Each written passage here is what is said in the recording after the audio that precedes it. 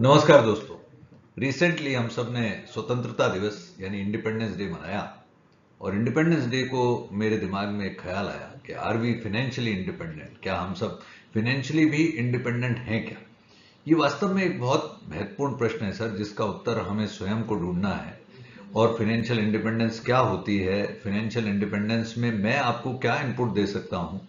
उसी प्रयास के रूप में दोस्तों आज ये वीडियो आपके समक्ष फाइनेंशियल लिटरेसी की एक सीरीज़ के रूप में प्रस्तुत है। तो दोस्तों, यहाँ आपके सामने बात रखता हूँ कि व्हाट इज़ फाइनेंशियल इंडिपेंडेंस कि वित्तीय स्वतंत्रता क्या हो सकती है। हालाँकि इसकी कहीं पर कोई यूनिवर्सल डेफिनेशन नहीं है। एक आइडियल डेफिनेशन फाइनेंशियल इंडिपेंडेंस की होगी where financial independence could be having enough wealth to live a life of comfort without need to work तो नेचुरली आप कहेंगे कि भाटिया जी, ये तो एक आदर्श परिभाषा है, ऐसा होना कतई संभव नहीं। तो एक अगली परिभाषा रखने की कोशिश करता हूँ कि फाइनेंशियल इंडिपेंडेंस में also mean a person capacity to be able to meet his financial obligation without any help from others कि हम थर्ड पार्टीज़ के ऊपर, औरों के ऊपर अपनी डिपेंडेंसी फाइनेंशियल ऑब्लिगेशन के संदर्भ में न रखें और हमें जितनी वित्तीय आवश्यकता है, वो हम स्वयं अपने स्रोत से, अपनी अर्निंग से पूरी कर पाए। और एक बहुत बड़ा चीज़ आएगा सर यहाँ पर कि हमारे इंडिया में फाइनेंशियल इंडिपेंडेंस को शायद इस प्रकार से भी देखा जाए कि मैं जब तक एक यंग एज में हूँ, तब तक मैं अपने रिसोर्सेज इस प्रकार से अरेंज कर लेता हूँ कि मेरी डिपेंडेंसी अदर्स पर नहीं है। और जब मैं रिटायर्ड लाइफ के करीब जाता हूँ तो भी मेरी दूसरे व्यक्तियों पर या दूसरे स्रोत पर डिपेंडेंसी कम हो जाती है। हालाँकि मैं ये कह सकता हूँ कि फाइनेंशियल इंडिपेंडेंस का अलग अलग व्यक्तियों के हिसाब से अलग अलग परिभाषा डेवलप की जा सकती है। तो दोस्तों, मेरे दिमाग में जो कॉन्सेप्ट आया फाइनेंशियल इंडिपेंडेंस का तो मैंने इस पर जब विचार किया तो आई थॉट कि why financial independence is required या मेरे थॉट प्रोसेस में क्या क्या चीज़ें हो सकती हैं? कि हमारा सोशल स्ट्रक्चर इस प्रकार का है कि हम एक फैमिली में जीते हैं, उस फैमिली में एक दूसरे को सपोर्ट करते हैं, जो माइनर्स होते हैं, उनको पढ़ाई के रूप में सपोर्ट करना, उनकी नीड्स को सपोर्ट करना। किसी बच्चे की जब परिवार में बेटे की या बिटिया की शादी होती है, उस समय हमें फाइनेंशियल रिसोर्सेज की आवश्यकता पड़ती है। किसी प्रकार से घर में हरी बीमारी हो, स्वयं की या फैमिली मेंबर्स की तो हमें फाइनेंशियल इंडिपेंडेंस देखनी पड़ती है। सोशल स्ट्रक्चर के साथ साथ हमारा सोसाइटी का security measures social security measures भी वीक हैं अपेक्षाकृत रूप से डेवलप कंट्रीज़ से, जैसे फॉर एन एग्ज़ाम्पल अगर कोई व्यक्ति प्राइवेट सेक्टर से रिटायर है तो किसी प्रकार से उसको सरकारी सहायता के स्पष्ट प्रावधान नहीं है। तो उस व्यक्ति को सोचना है कि जब मेरी सुपर एनुएशन की एज आएगी तो मेरी फाइनेंशियल इंडिपेंडेंस किस प्रकार से मेंटेन रहेगी। Most of the Indian population as I said earlier also is self employed sir तो जब हम सेल्फ एम्प्लॉयड स्ट्रक्चर पर काम करते हैं तो हमारे लिए फाइनेंशियल इंडिपेंडेंस उस समय मेंटेन करना, जब मैं काम नहीं भी कर रहा, एक बहुत बड़ा चैलेंज होता है। Challenge on investment providing good returns एक बहुत बड़ा चैलेंज दोस्तों जो आने वाले समय में, भारतवासियों के समय आने वाला है, वो क्या है?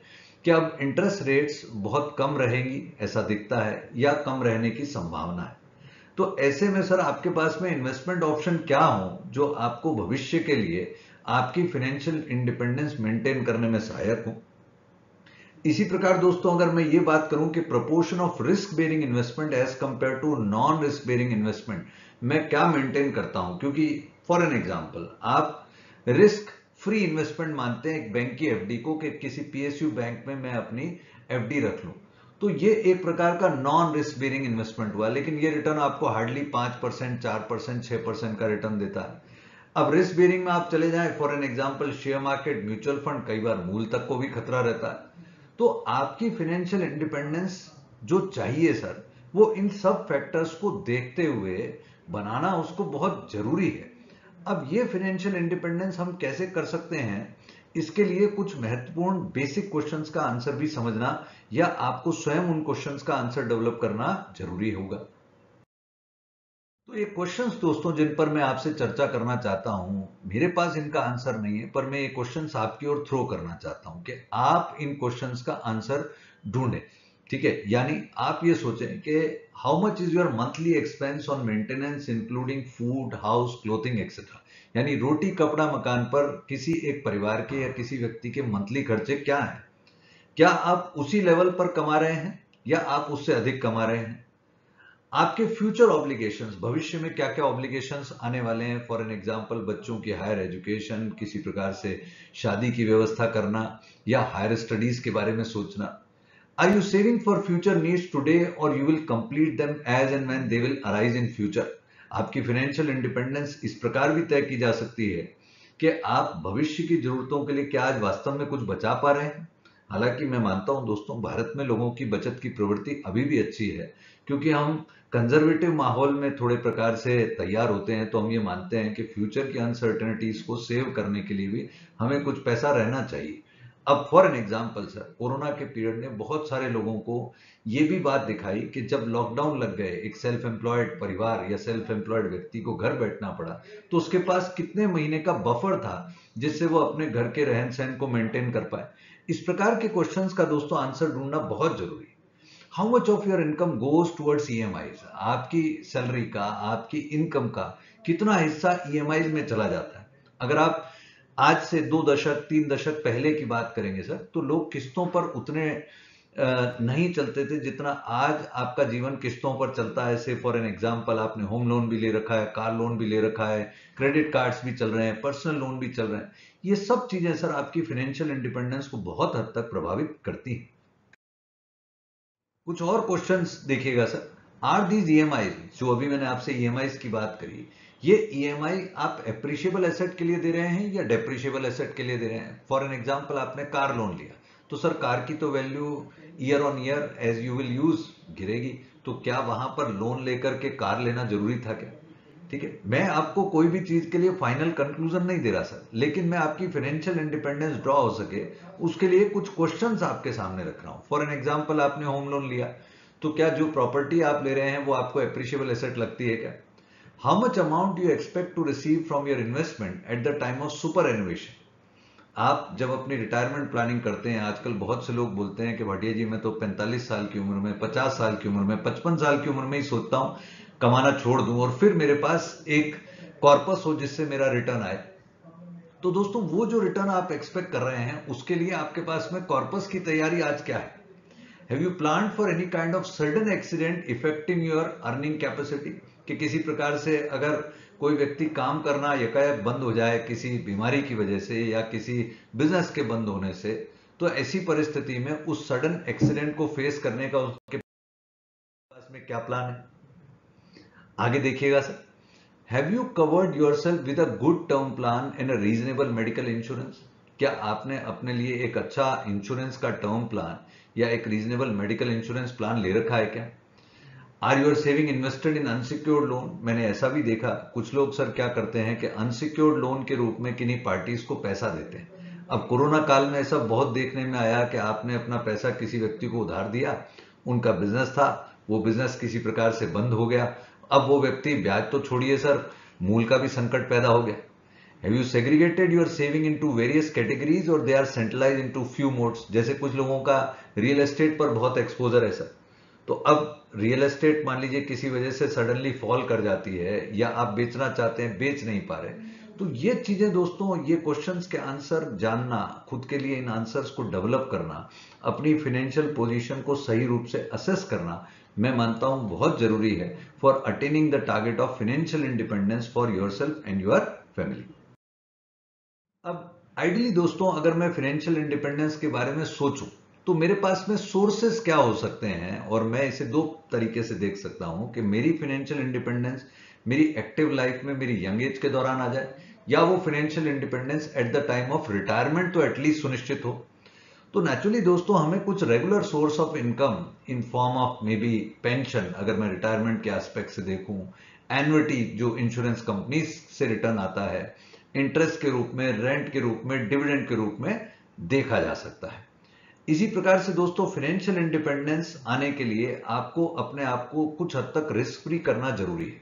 और वो रिस्क फ्री कैसे होंगे सर आप जब आप एक अच्छा खुद की लाइफ पर, अपने परिवार की लाइफ पर हेल्थ कवर रखते हो और एक एक्सीडेंट कवर के रूप में आपके पास में कोई इंश्योरेंस कवर हो, आप अपनी प्लानिंग ऑफ़ इन्वेस्टमेंट किस प्रकार से करते हैं कि जब आपको जैसे ज़रूरत हो, वो इन्वेस्टमेंट बेचे जा सके। जैसे for an example real estate में किया गया इन्वेस्टमेंट दोस्तों एकदम से नहीं बिकता, लेकिन share market mutual fund FDs आप जब चाहें उनको कैश में कन्वर्ट कर सकते हैं।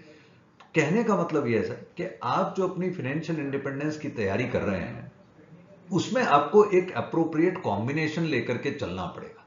वो अप्रोप्रिएट कॉम्बिनेशन ही आपकी फाइनेंशियल इंडिपेंडेंस को अचीव करने में हेल्पफुल रहेगा।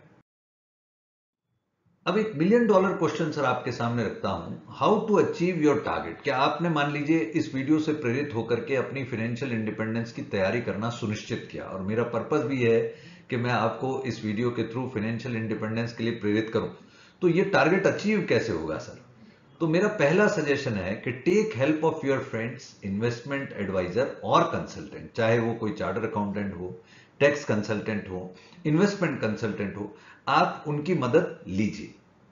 इसी के साथ दोस्तों, मैं ये भी कहना चाहूँगा, ये बात जोड़ना चाहूँगा कि जो भी आपको सजेशन मिले फ्रेंड से इन्वेस्टमेंट कंसल्टेंट से या इन्वेस्टमेंट एडवाइजर से उसको आप ब्लाइंडली ना फॉलो करें। थोड़ा सा अपना फाइनेंशियल लिटरेसी को बढ़ाएँ और उसके अनुरूप फिर तय करें कि जो एडवाइस आपको मिली है, वो आपको कितनी सूट करती है और आप उसमें से किस ऑप्शन को तरजीह या इंपॉर्टेंस देते हैं।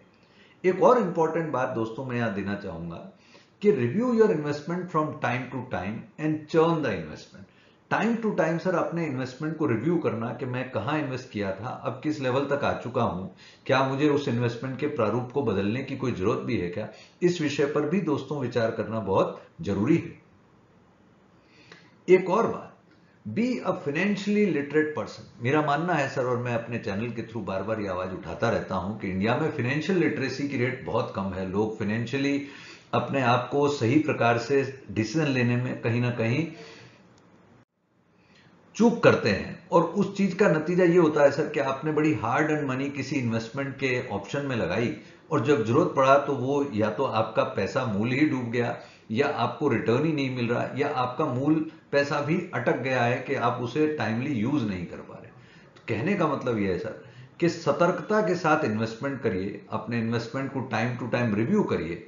कुछ मार्केट की नॉलेज भी आपके लिए रखना बहुत ज़रूरी है कि आप किसी प्रकार से ब्लाइंडली इन्वेस्टमेंट करने की जगह एक कैलकुलेटेड तरीके से इन्वेस्टमेंट करने के लिए प्रेरित तो दोस्तों, मैं मानता हूँ, यद्यपि इंडिया में फाइनेंशियल इंडिपेंडेंस का टारगेट लेना या फाइनेंशियल इंडिपेंडेंस मेंटेन करना एक बहुत चैलेंजिंग विषय है, ठीक है?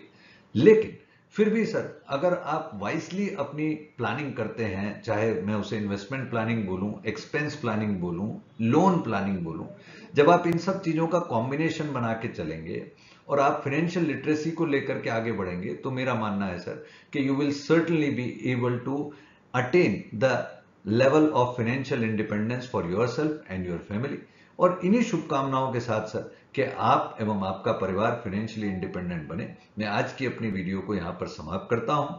यदि फाइनेंशियल इंडिपेंडेंस के विषय पर आपके कुछ प्रश्न हो तो आप मुझे लिख सकते हैं। मैं उनका उत्तर देने की ज़रूर कोशिश करूँगा। मेरे साथ जुड़े रहने के लिए बहुत बहुत धन्यवाद। जय हिंद।